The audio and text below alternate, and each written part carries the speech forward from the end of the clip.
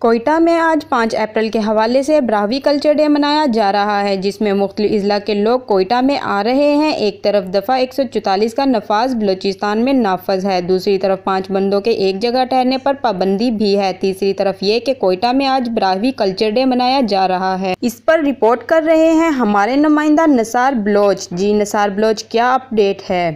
السلام علیکم، اس ٹائم میں کوئٹہ میں موجود ہوں۔ کوئٹہ میں ایک طرف سے جیسے آپ دیکھ رہے ہیں، ایک سو چوالیس کا دفعہ لگا ہوا ہے، جہاں پہ پانچ بندوں کے اوپر پابندی عائد کی گئی ہے۔ دوسری طرف تمام بلوستان ملازمین کا دھرنا ہے اور تیسری طرف یہاں پہ مین سریب روڈ پہ ہمارے کچھ دوست ساتھ ہیں جو بلو براوی قومی کلچر ڈے کے حوالے سے ٹھہرے ہوئے ان سے بات کرنا چاہیں گے۔ جی کیا میسیج دیں گے میں جی شکریہ آپ کا، آپ یہاں آئے اور ہمیں کوریج دی۔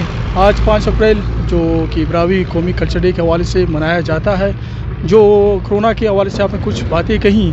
ایس ایف پیس کو مد نظر رکھتے ہوئے ہم لوگوں نے اپنی ترتیب وہاں پہ بنائی ہوئی ہے۔ اور جو کلچر ڈے ہے، ان، اس کا بننا ضروری ہے۔ ایک قوم کو زندہ رکھنے کے لیے ان کا ہونا ضروری ہے۔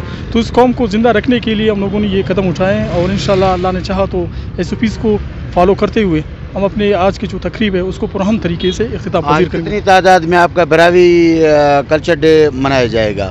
آپ تعداد انفرادی یعنی فرد کے حوالے سے پوچھ رہے ہیں یا آپ پوچھ رہے ہیں کہ اوور آل جتنے یہ خلاص وہاں پہ آئیں گے آنے والے ہم لوگوں نے انویٹیشن ان لوگوں کو دی ہے جو جیسے کہ آپ نے خود کہا کہ کرونا بھی ہے اور ہمیں ایس او کو فالو بھی کرنا ہے۔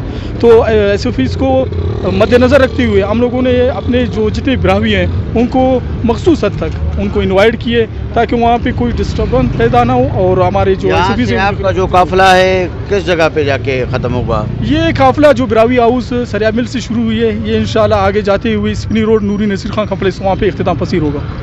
جی یہ ہمارے ساتھ دوست ساتھ ہیں یہ کہہ رہے ہیں کہ نوری نصیر خان کمپلیکس پہ جا کے یہ ہمارا براوی کلچر ڈے ہے وہاں پہ ختم ہوگا۔